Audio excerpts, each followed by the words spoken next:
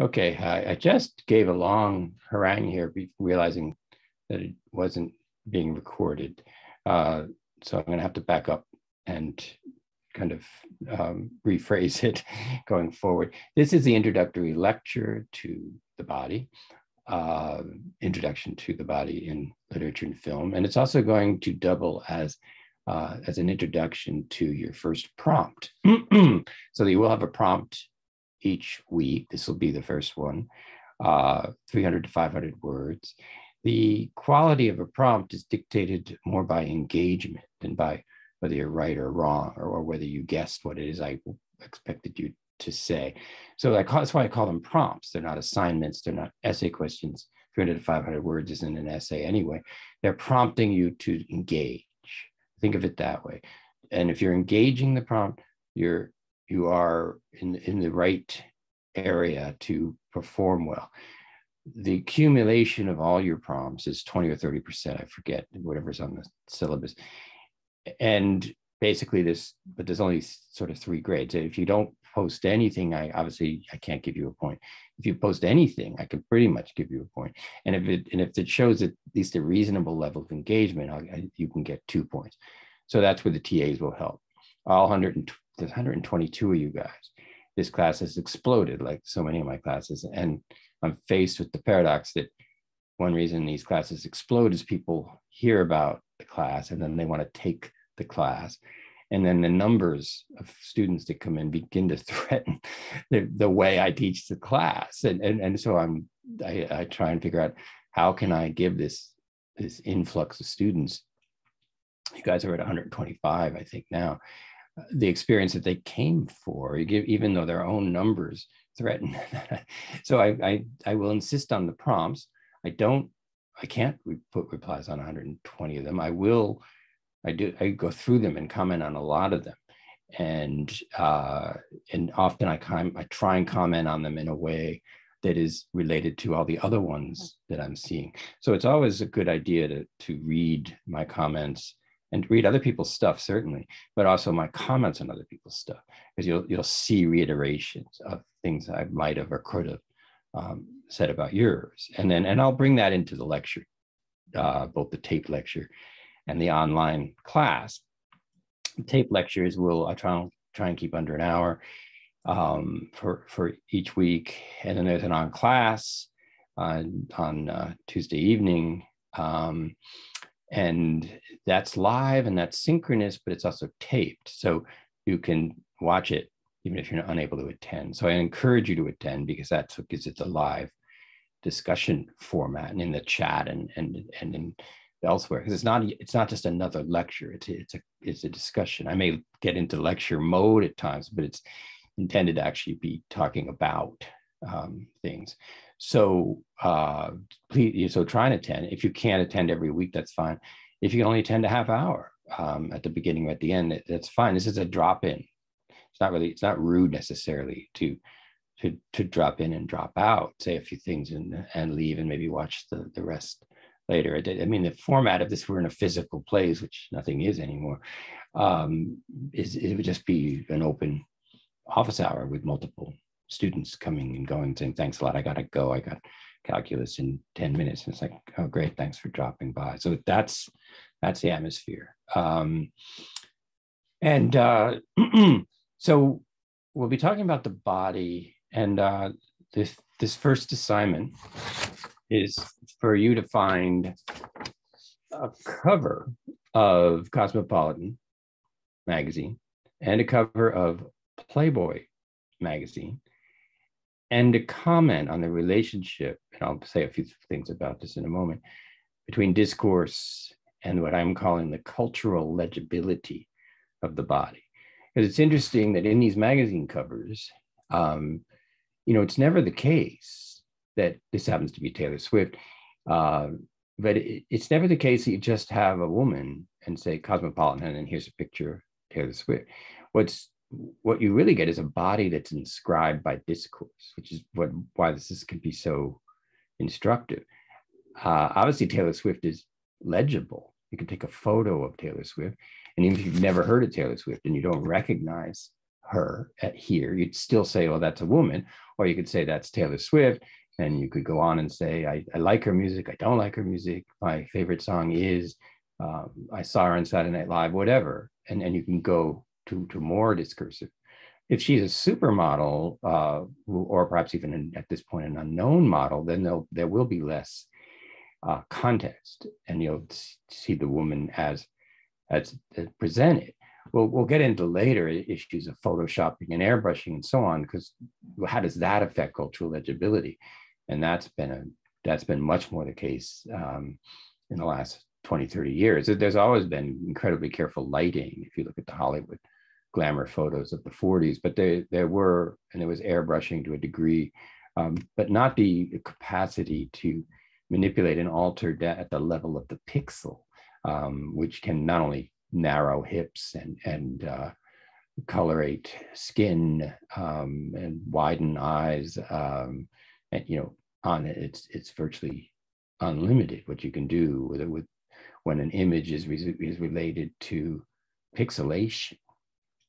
Um, but that aside for the moment, this in this particular prompt, we're particularly interested in what is the relationship between discourse and the body? Because here's the, the presumption here is you're born with what might be uh, labeled uh, male anatomy or female anatomy. And we know how important that is from the beginning. So not only we not only have the sonograms that people pass around, it's a boy, it's a girl. Lately, we've had these gender reveals, which are you set off fireworks that are blue or fireworks that are pink or whatever ways you might construe this. And, and it's, it's it's seen as an originary moment, like it's a girl. Um, but in fact, it's still a female, it's a female body and then it's a male body and then the gender reveals us it's a boy and it's a girl that's already a, a, a, step into discourse that a male body is a boy that a female body is a girl. It's already that's already imposed for better for worse and and we're increasingly aware of that as we move through the lgbtq community through and and through transgender and, and issues that are uh, there's there is a kind of cultural challenge these days to the relationship between discourse and the body. I'm not sure it's always as effective as it wants to be, and we'll we'll talk about that. But even something like a gay pride parade, when you look, when you hear from people who are either frankly homophobic or or inclined that way, they will say like more mild forms of like, well, okay, fine, they're gay. Why do they have to have a parade? Well, they have to have a parade because they're culturally unintelligible and have been for years. So you, they've been in the closet from from the 40s and 50s um, and so you know we're here and we're queer and, and these placards that are being carried have a very uh, they have a they have a real purpose um, saying that we are cult- we we demand to be culturally intelligible in a way that has not been allowed by the regulatory schemas of what a man is and what a woman is um, regulatory schemas that are essentially in operation in, in, this in this cover of Cosmopolitan and in Playboy magazine, uh, which is anachronistic now. I realize it's hardly magazines at all. I mean, Cosmopolitan's even getting anachronistic. But I, am going to Dora, the, the, hysterical case of uh, hysterical analysis, which is also part of our first reading. It's 120 years old. That should be anachronistic too. Um, but in fact, and I do want you to try and read the Dora piece that that's some part of this prompt. Um, and we'll be talking about it on Tuesday. Uh, Dora's an 18 year old girl who's brought to Freud by her father. He famously says, make her see reason. Uh, and in fact, what he's really asking Freud to do is persuade Dora to conform to a position that's been constructed for her so that a, uh, quote unquote perverse relation, familial structure can continue as if normal. We'll be talking a lot about the relationship of normal to perverse, because to some degree, normality is only definable in relation to per the perversions that are set uh, up as a as a challenge to it, and and a lot of normative structures um, can have very uh, de deleterious effects on the body, so that so many familiar, so many physical ailments like anorexia nervosa that, that have a mental component are protests against positions in familial structures. And it seems particularly true of, uh, of hysteria. Plato insisted hysteria was, was a woman's ailment, that hysta, the, that the womb was traveling around, causing pressing against the lungs, pressing against the heart, and so on, and causing all of the myriad physical ailments that, that had no biological basis. Um, but what we understand much better now is that once the body is translated through discourse um, and a regulatory schema into a performance of gender, which is in relation to power, and that power is an effect of relationship, uh, which brings in the masculine and makes femininity and masculinity mutually constituted. Once, once all of that has occurred, you you have a culturally intelligible body that's significantly um, castrated, cut off uh, in one form or another from the lived and experienced body. So symptomatology of hysteria and OCD and depression and anorexia and cutting, a much more, it's a lot more attention lately. We'll talk some about that.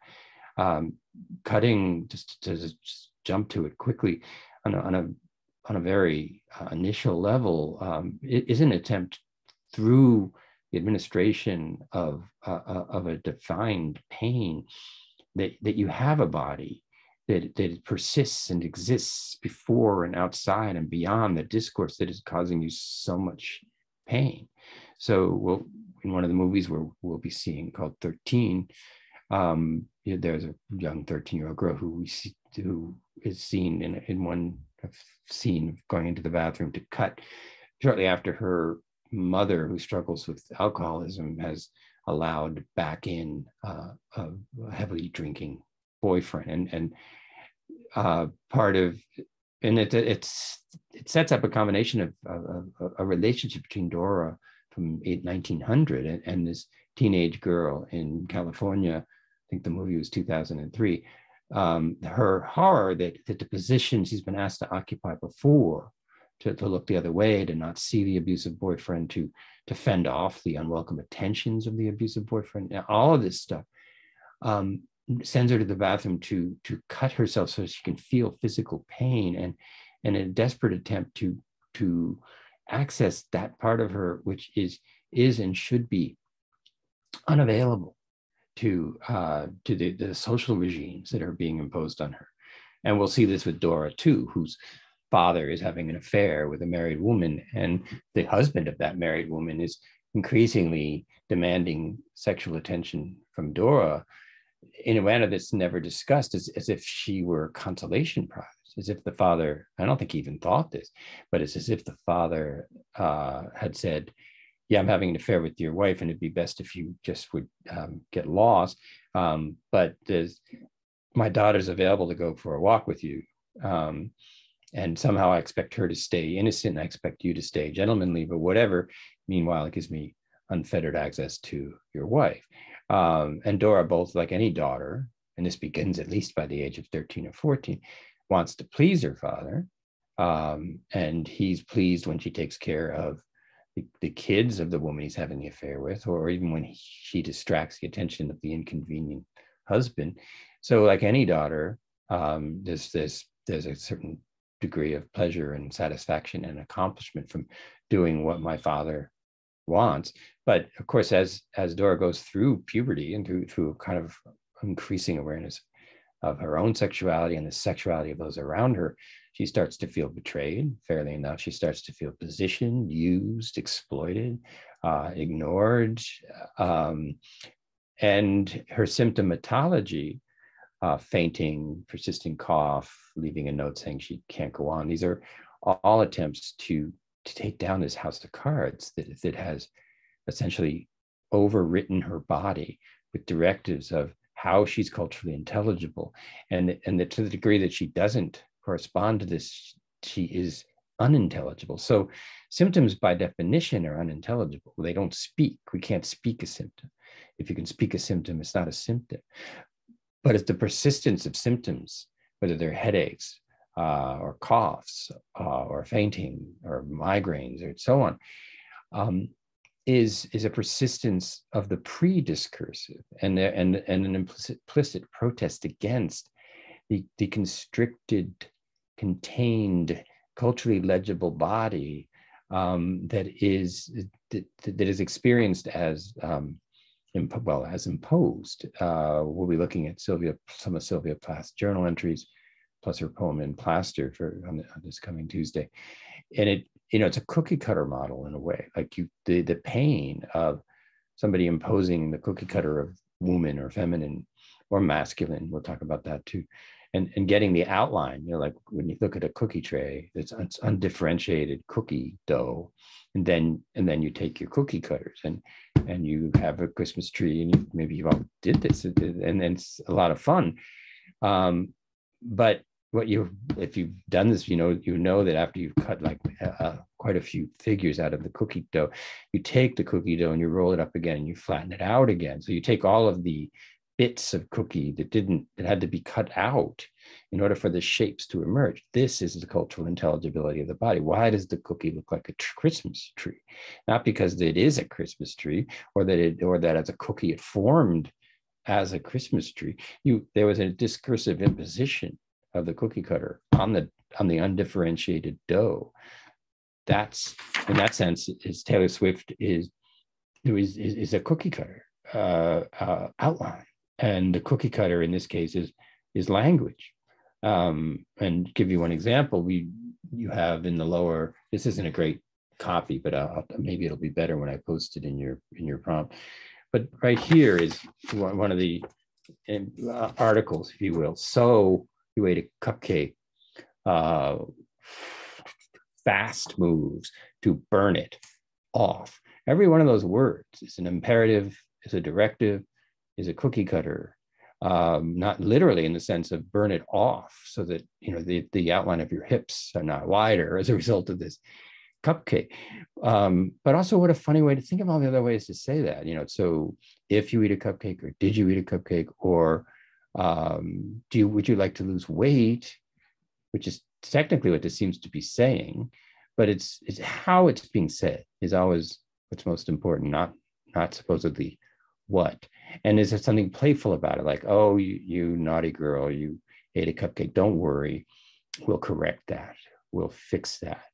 And uh, cosmopolitan magazine is full of correctives of ways to fix things playboy magazine you'll notice perhaps depending on what cover you pick is very much about um, finding the courage to express who you already are with and a lot of that in relation to women. Um, the fact that Playboy magazine has a has a playmate of the month is is a loaded concept and and the the confines of the of the fold out the centerfold the in once in like cosmopolitan the women in a playboy centerfold are substitutable and replaceable. Uh, they're all in the same fold out. They're in the same uh, um, structure of, of the uh, of the frame. Um, but unlike cosmopolitan covers, the playmate there's no words there. There's there's only context, a, a bed, pillows, maybe something in the background, um, and the, the, because the woman's being offered as a playmate, and it's to the gaze of the man, and that becomes a very different uh, issue. Also, the, there's the implication, you know, way before the age of Tinder, that women are substitutable. This is playmate of the month swipe left, swipe right, bring in Miss August, swipe out Miss September. So we tend to think that something like Tinder is a new invention, which it is. But what interests me at the level of the discursive is, is how is Tinder also the same old thing? I'm always interested in the way the technology, whether it's photography and, and a centerfold or, or Tinder and a social platform, uh, they, they didn't just happen that way. And in sense, Marshall McLuhan is right as usual. The, the medium is the message. The the me, the way that Tinder is constructed is what Tinder means, not anything that that Tinder says or, or the Playboy magazine says. Um, and uh, so I could uh, say more about this, but I, I, I think I'll bring this to a close, not least of all because this is the second time going through it uh, while I record. or um, let me um, mention too that when we are in the on class setting, uh, make free use of the chat. You can in, you can interrupt me verbally, and I encourage that. Um, but also you can ask questions in the chat. I keep the chat open when I'm talking during the open class, and I will interrupt myself to read things you put in the chat. Uh, in addition to your being encouraged to interrupt me, as students often say, like, "I'm sorry, Professor Leonard, I didn't want to interrupt you." And my point is usually, how else would you get a word in edgewise. Uh, uh, that's you know any if you don't stop me, I keep going. But I like I don't I like being stopped. If you will, I like uh, someone saying yeah, but or or whatever you want. Um, so please do uh, interrupt. Uh, it, it, it won't in the end. It won't be an interruption. It'll be a redirection and a rearticulation, and you will have given me the the grounds to do that. And, and it, so it would be an improvement for, for everyone, in, including me, uh, as getting, articulating these, these dynamics as uh, effectively as, as possible. Um, so, uh, all right, so look for the prompt. I'll put it under the discussion tab. I'll have some of the information I've put in here. Um, but you, you really have enough to go on because what I, what I what I'm really asking is what is the relationship between words and the emergence of the body as culturally intelligible. And if you have time and interest, and you may, and this is we're going to spend the whole class on this, so don't worry about it. These questions kind of lead one to the other because once you've addressed that question, uh, what are what, what are the, for want of a better word, what are the pros and cons that the body has emerged as culturally intelligible in this way. What's what's seductive about cultural intelligibility is, is it gets quickly naturalized as as the way to get things done and as the way to be. And, and you'll see that both for the men and for the women. Um, things as obvious as how do you get a date or, or how would you get someone to go to bed with you? This, these are all these all revolve around cultural intelligibility. How do you become intelligible? In in that uh, way. And, and how do they become intelligible for you? So there's lots of quizzes in cosmopolitan what what what your man's driving habits tell you about him. And you know 10 places he wants to be touched i don't know what those could possibly be. Uh, and and but won't tell you. And it's like yeah we won't tell you because we don't know what you're talking about. But the, the, the sense that it can be mapped out the male body can be mapped out, that the performance of femininity can be improved. In fact, there was a 1950s um, cologne ad that, um, well, I'll, I'll, end on these two points. There's a cologne ad that, that I could take as a model for this class, which is want him to be more of a man, try being more of a woman. Now that would pretty much come across as sexist now, but but only because it's so clear. I, I, don't, think it's changed. Um, and they whole the, the the particularly something like Cosmo, this this constant or, or shows like Sex in the City, well, that's already pretty dated. That that unfortunate reboot made that clear if if it wasn't already clear. Um, but uh, a lot of what we might call dating sitcoms, you know, are, are something else we can look at um, because they're really they literally present gender performance, even even a famous sitcom like Friends, or in a rather different way, Seinfeld, um, where where the predatory, exploitive nature of relationship is much more uh, foregrounded than it is in a, in a show like Friends, which may have a lot to say about the era that that those two shows were were excuse me were were coming through. Uh, so that's that's your first prompt that's your introduction. Start reading Dora. I've, I haven't posted the, the Plath journal entries or the poem in plaster yet, but I will. All of that will be coming together on this coming Tuesday. And a word to those who may not have had me before, you know, I, early classes, my early classes, uh, often students report this isn't just my speculation, can be overwhelming because so much seems to be brought up immediately. And and to a degree that's true, but it's because I'm dealing with mobiles. Uh, I don't know if you know Alexander Calder. He's a great artist who does mobiles. And the thing about mobiles is if if you want to understand the purpose of a little piece out here on the mobile you're going to want to bear in mind this larger piece in the mobile down here because it, it, it's it ultimates all of that and the body is like a, a Calder mobile in fact i'll I think i'll put an image of that in your prompt. Um, what allows it to come back into it's like a body and and Calder even uses bodies in uh, in, in naming some of his mobiles. Is it something happens like somebody calls you or kisses you or insults you uh, and the mobile your mobile just goes off in, in all these directions and they're very unique and Dora is part of a mobile. Her family is a mobile. The Dora's experience of herself is a, is a mobile with mobility. And why is a why is your mobile designed that way? Because everybody is a mobile. It's and, and and none of them are the same mobile but all of them claim to be a body. I'll just end on that point. Stop my recording and uh, I will post this uh, to to Quercus and I'll see you guys, whatever that means these days, uh, Tuesday evening. Thanks.